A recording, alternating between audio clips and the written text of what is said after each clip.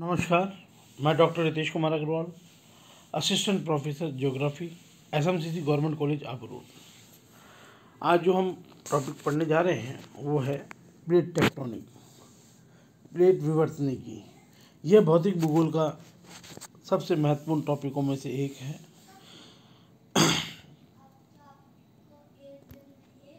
सबसे पहले हम बात करें प्लेट विवर्तनी के अर्थ के बारे में।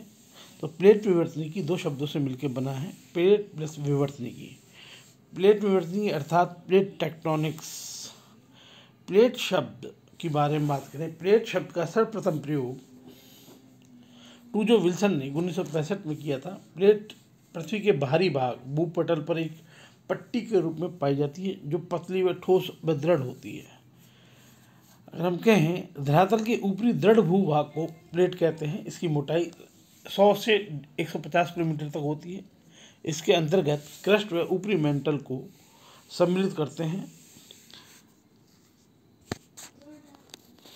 इस सिद्धांत में महासागरी क्रस्ट को भी प्लेट में सम्मिलित किया गया है।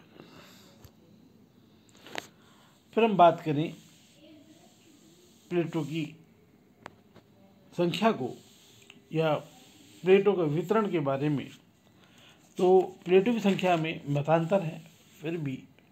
डब्ल्यू जे मॉर्गन ने उन्नीस सौ अड़सठ में जो पृथ्वी पर छः प्रमुख और बीस गौण प्लेटों का वर्णन किया है, जिसमें American plate, Eurasian plate, African plate, Antarctica plate, Pacific या प्रशांत महासागरी प्लेट इंडो ऑस्ट्रेलियन प्लेट। ये छह प्लेटों का, जो प्रमुख प्लेट है, प्रधान प्लेट है, इनका वर्णन किया इसमें जो पैसिफिक प्लेट है प्रशांत महासागरी जो प्लेट है पूर्णतः महासागरी प्लेट है, एकमात्र ऐसी प्लेट है जो पूर्णतः महासागरी प्लेट है, तथा ये सबसे क्षेत्रफल की दृष्टि से सबसे बड़ी प्लेट है पैसिफिक प्लेट इसके अतिरिक्त डब्ल्यू जे मॉर्गन ने 20 गौड़ प्लेटों का वर्णन किया, जिसमें प्रमुख जो प्लेट है, Nazca plate Scotia plate Philippine plate Caribbean plate Arabian plate Juan de Fuca plate Iranian plate न्यूवियन plate Somali plate. इस तरह अनेक बीस प्लेटों का वर्णन किया। वर्तमान विश्व में अब तक जो सबसे नवीनतम जो प्लेट है, वो सत्तावन भी प्लेट, सत्तावन प्लेट, गौण प्लेटों की खोज की जा चुकी है। जो सबसे नवीनतम प्लेट है, जिसकी खोज है, की गई है, वो है माल पेलो प्लेट, जो दक्षिण अमेरिका के पश्चिमी तट पर है। अभी हाल ही में आईएएस परीक्षा के अंदर भी ये पूछा गया था कि सबसे नवीनतम जो प्लेट है, वो कौन सी है तो ध्यान रखिएगा, माल प्लेट और प्लेट जो दक्षिण अमेरिका के पश्चिमी तट पर है, वो सबसे नवीनतम गौण प्लेट है जिसकी खोज की गई है। अगर हम इसे मैप पर भी देखें तो जो प्रमुख प्लेट हैं, वो हैं, जैसे हम देख सकते हैं, पैसिफिक प्लेट नज़र आ रही है। इसके अलावा इंडो ऑस्ट्रेलियन प्लेट है, यूरेशियन प्लेट है, अमेरिकन प्लेट है, ये प्रमुख प्लेट दिखाई हुई है। इसके अतिरिक्त दक्षिण अमेरिका के पश्चिम में नजाका प्लेट, मध्य अमेरिका के पश्चिम में कोकोस प्लेट, उत्तरी अमेरिका के पश्चिम में Juan de Fuca plate, Philippines plate, Philippines द्वीप के जो पूर्व में स्थित है। तो ये कुछ गौण प्लेटें हैं जिनके बारे में इस मानचित्र में दिखाया गया है। प्लेटों की विशेषताओं के बारे में बात करें करेक्टर कैरेक्टरिस्टिक्स ऑफ़ प्लेट्स के बारे में तो ये कठोर, पतली व भंगुर होती हैं। भूपटल के बाहरी भाग पर पट्टी नुमा पाई जाती हैं। यह अस्थिर है, अर्थात इनमें निरंतर गति व परिवर्तन होते रहते हैं। इसका विस्तार महाद्वीप व महासागर दोनों पर ही पाया जाता है। केवल प्रशांत महासागर ही पूर्णतः जल पर विस्तारित है। नेक्स्ट प्लेट की मोटाई पाँच से अस्सी किलोमीटर तक हो सकती है। प्लेट ऊपरी तस्तरी नुमा दिखाई देती है। प्लेटों में अपसारी, अभिसारी व संरक्षण तीन प्रकार की गति होती है। इसी आधार पर प्लेट तीन प्रकार की होती है। अपसारी, अभिसारी व संरक्षित प्लेट। प्लेट भूपटल के भारी भाग तक सीमित होती है। प्लेट नीचे के निर्बल मंडल या एस्टोनिस्फेयर दुर्बलता मंडल पर टिकी हुई हैं, अपितु तैर रही हैं। प्लेट में प्रतिवर्ष गति ज़ीरो से दस सेंटीमीटर तक होती है। प्रत्येक प्लेट अपने घूर्णन ध्रुव के चारों ओर वृत्ताकार मत पथ पर भ्रमण करती हैं। जिसमें प्लेट अपने समीपस्थ प्लेट से दूर जाती हैं और अन्य प्लेट के पास आती हैं। तो ये है, प्रमुख रूप से बात करें, प्लेटें आयलर के सिद्धांत के अनुसार भ्रमण करती हैं। कभी घूर्णन ध्रुव के चारों वृत्ताकार मार्ग में भ्रमण करती हैं।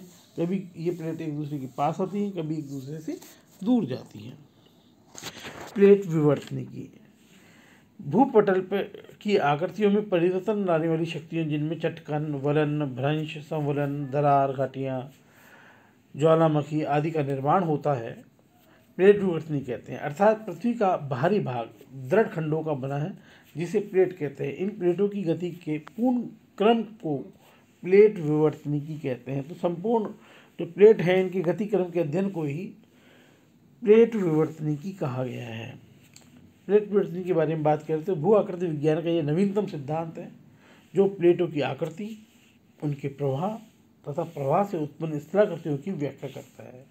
इसे प्लेट वर्तनी कहा जाता है, या प्लेट टेक्टोनिक कहा जाता है। प्लेट वर्तनी की जो सिद्धांत है, इसके प्रवर्तक हैरी हेस वो माना जाता है। तो हैरी हेस ही प्लेट वर्तनिकी के प्रतिपादक माने जाते हैं। हैरी हेस के अनुसार भूपटल के आंतरिक रूप से दृढ़ प्लेट का बना हुआ है और महाद्वीप और महासागरीय तली विभिन्न प्लेट के ऊपर स्थित हैं। ये प्लेट विभिन्न रूपों में गतिशील होती है, जिनके कारण महाद्वीप व की तली भी विस्थापित होती रहती है। तो इस तरह से ये हेरी हेस ने प्लेट विवर्तनिकी को प्रभावित किया। जो प्लेटों की गति के बारे में बात करें तो प्लेटों के आंतरिक भाग में रेडियो एक्टिव पदार्थों से उत्पन्न भूतापीय ऊर्जा संवहन तरंगों के रूप में प्लेटों को गति प्रदान करती है। जो प्लेटें हैं प्लेट, जैसे हमने भी देखा था, प्लेट घूर्णन ध्रुव के चारों ओर वृत्ताकार मार्ग में गति करती हैं। कभी प्लेट एक दूसरे के पास आती हैं तो कभी एक दूसरे के दूर जाती हैं।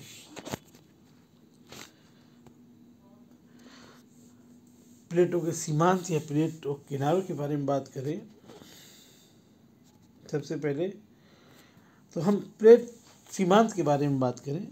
तो जो प्लेट या सीमांत या एक किनारा होता है, जो प्लेट, सीमांत एक उभनिष्ठ सीमा पर मिलते हैं, अर्थात प्लेट सीमांत प्लेटों की मोटाई को दर्शाता है।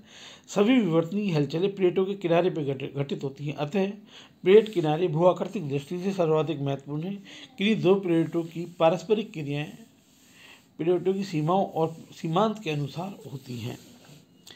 वास्तव में जो है, जितनी भी विवर्तनीय घटनाएँ होती हैं, वो प्लेटों के किनारे पर होती हैं। प्लेटों के किनारे को, या सीमांतों को प्रमुख रूप से तीन भागों में बांटा गया है। अपसारी प्लेट सीमा यह इसे संरचनात्मक या रचनात्मक प्लेट सीमांत भी या प्लेट किनारे भी कहते हैं। दूसरा है अभिसारी प्लेट सीमा, अर्थात विनाशात्मक प्लेट किनारे या सीमांत। नेक्स्ट है नंबर तीन, नतीलम या परवर्ती प्लेट सीमा, या इसे हम संरक्षी प्लेट सीमांत या संरक्षी प्लेट किनारा भी कहते हैं। जैसे आप देख सकते हैं जो अब सारी सीमा होती है, अर्थात रचनात्मक किनारे होते हैं, उसमें प्लेटें एक दूसरे से दूर जाती है। जबकि जो विनाशात्मक किनारे होते हैं, अर्थात अभी सारी जो सीमा होती है, उसमें जो प्लेटें हैं, प्लेटों किनारे एक दूसरे से सामने से आके टकराते हैं। जबकि जो परवर्ती सीमा होती है, उसमें जो हम कहें संरक्षित जो किनारा होता है, उसमें प्लेटें ऊपर नीचे खिसक जाती हैं, जैसा कि इस चित्र में आप स्पष्ट रूप से देख सकते हैं। सबसे पहले हम बात करते हैं अपसारी प्लेट सीमा या रचनात्मक किनारा के बारे में। अपसारी सीमा पर प्लेट एक दूसरे से दूर रहते हैं मतलब विपरीत दिशा में गति करती है। ऐसा प्राय उस समय होता है जब बेसाल्ट सेल अनुपटल से संवाहित होकर सागर तली के पैदे में भर जाता है तथा जहाँ प्लेट एक दूसरे से दूर जाती है, जिससे नवीन सागरीय पटल का निर्माण होता है। विश्व की समस्त मध्य महासागरीय जो श्रेणियाँ हैं, उसका सर्वोत्तम उदाहरण है। इस तरह दो प्लेटों के बीच नवीन पदार्थ तथा भूपटल का सृजन होता है। अतः इन किनारों को संरचनात्मक किनारा व सीमा को अपसारी प्लेट सीमा भी कहते हैं। अतः हम कह सकते हैं कि जो अपसारी सीमा होती है, उसके जो विपरीत दिशा में जाती है तो मध्य महासागरीय प्लेटों के साथ ये कटक के साथ मैग्मा धरातल के ऊपर आ जाता है, जिससे नवीन क्रस्ट का निर्माण होता है। इसलिए इसे रचनात्मक किनारा कहते हैं। सबसे अधिक ज्वालामुखी जो हैं, इसी किनारों के साथ पाए जाते हैं। नेक्स्ट हम बात करें अभी सारी सीमा या विनाशात्मक प्लेट सीमांत। जहाँ दो प्लेटें आपस में टकराती हैं तो उनके किनारों को विनाशात्मक किनारा या विनाशात्मक सीमांत कहते हैं। इसमें भूपटल का किनारा विनाशकारी होता है। भूपटल के संदर्भ में ये चालीस का झुकाव है।